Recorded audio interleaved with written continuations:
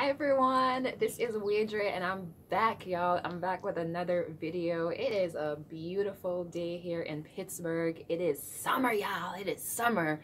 Hopefully wherever you're watching from, you are having a wonderful summer so far in spite of everything, right? Because we you know, we're just having um, some glorious weather. Like we've been having a heat wave here in Pittsburgh over the last week or so. So today um, we've gotten a little bit of break. It's not as humid. Not that I'm complaining because I'm all about the heat. But guess what, y'all? In this video, I just wanted to share kind of like a life update with y'all. Today is a very special day for me. So if you want to find out what's so special about today, definitely keep on watching today today is my one year anniversary of being a homeowner. Yeah see? Cheers. Cheers to home ownership. If you are a homeowner then you know you know how special this day is. Let me just take a sip this is some sparkling cider because I'm not drinking for the month of July, at least for the rest of July, okay? Because I, you know, the first week I had a few drinks, but um, I am feeling great and just having some time to reflect. I have some of my um, these are my planner this is my planner and look at this it says anything is possible right and anything really is.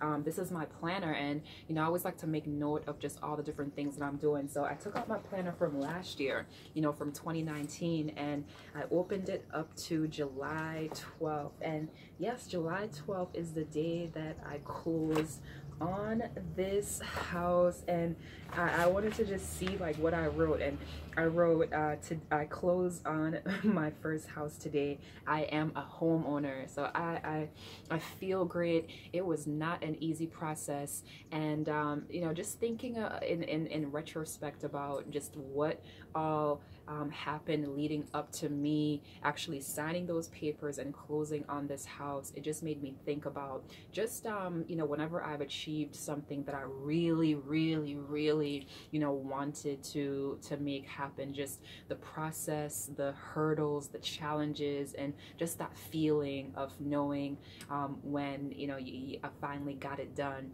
And um, I remember the day that I got the call from the broker at the mortgage mortgage company. And listen, guys, like, to be honest with you, it was just um, talk about hurdles. Like there were so many things going on leading up to me closing on the house. I didn't even know that I was actually going to close in a sense of there was nothing physically um, that that would happening that would indicate to me that you know what today is the day I'm actually going to close on my house. It was really at that point, you know, just kind of you know I just not like I threw my hands up, guys, but I really was like, okay, I'm just gonna. I wasn't really necessarily expecting it to happen because the the the company company, a lot of things, you know, fell through. Um, they made some blunders that ultimately affected me. And the process, it was just a lot of hiccups. It was a roller coaster ride throughout the entire um, journey of working with this mortgage company. You know, I was told that I would need to bring one amount um, to closing, and literally that amount doubled and tripled um, from. beginning to end so it was it was a lot but all that to be said for the fact that I actually like I closed and I remember some of the things that were just happening mentally you know leading up to it. Um, I really really really wanted to you know buy a house. Um, at the point of you know me being in this process I was renting. I had been at my apartment in Highland Park for 10 years a lovely place. Um, but my landlord decided to sell the building and so I had to move either way. So that really gave me a push of urgency to really um, you know know, just, just find a house ASAP. But I looked at a tons of houses. It took me a while to find one that really ticked off the boxes that were important for me. And I saw some houses that I was like, okay, this is the one. And for one reason or another, it just didn't work out. Something maybe was wrong or just, you know, things, things happen. But I remember when I walked into this house and um, my agent, um, I don't even remember how he found it, but I just remember one day he sent me like the link and I looked at the pictures and I was like, oh, okay, this looks great. And then we came and when I saw it, you know, it was a duplex. I was looking for a property that was income producing. That was like my number one thing. It had to be an income producing property. So when I saw that it was a duplex and that it was laid out, like I literally didn't have to do a thing. I didn't have to fix anything. All I had to do was move in you know so i was like this is the one you know and my agent was like yes this is a great great deal. So yeah made the offer and i i came in i made an offer that was about 10,000 less than what it was um, than, than what it was listed as.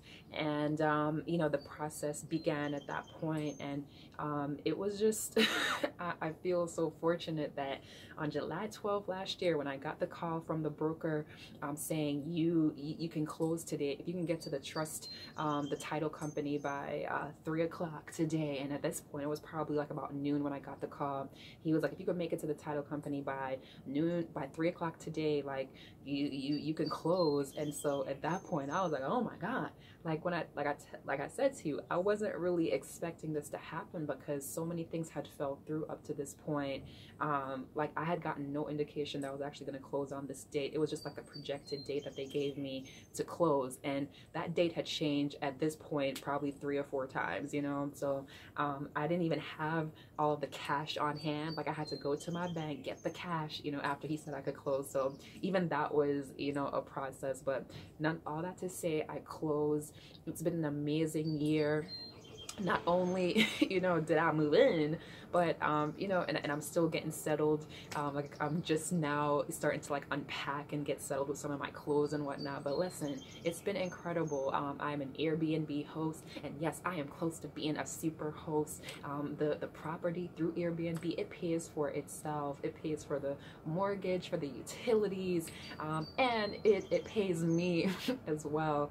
And it's just been um, it's been a learning process because listen, when you're a homeowner, there are things like anything else you gotta learn. And I'm still you know learning. Um, just the other day I had a plumber come in because I had to get my sink cleared up and I couldn't call no landlord to do it. You know I had to to do that. So it's definitely um, you know I'm learning still and it's a it's a responsibility for sure that is specific in itself. But I am loving it and I'm looking forward to acquiring more property and um, and growing you know my, my, my real estate portfolio. So I am super super grateful. And as I am now pursuing other goals I'm keeping in mind the same things that I've learned from this experience of, of getting a house that listen you know the action part of getting things done the action part associated with um, realizing a goal. Like we have to do our part right? There's always going to be things that we we just have to do. Like i had to you know get my get my credit in order. I had to get the down payment. Um, you know i had to find the right programs for me you know in my unique situation.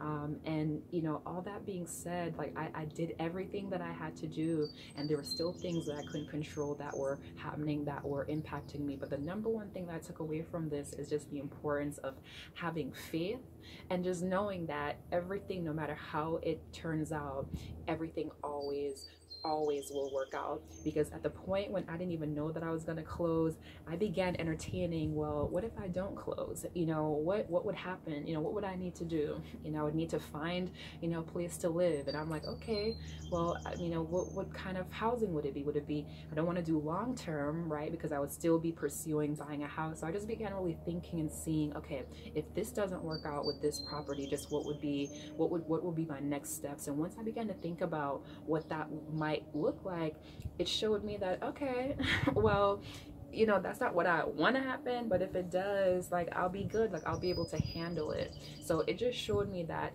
you know it's important that when we're pursuing a goal to just be open to the idea that things may not necessarily work out how we intend to but to think through what those next steps would be like how would we, we how would we respond? And i think it puts us in a frame where we see that okay it wouldn't things wouldn't be like that terrible you know or terrible at all. Like i would bounce back and i would handle it and i would you know adjust um, as needed and you could take those steps in place to have just as a backup you know just in case but i learned a thing about having faith and just really having faith in god that god is always working in my favor no matter what you know no matter what the outcome looks like.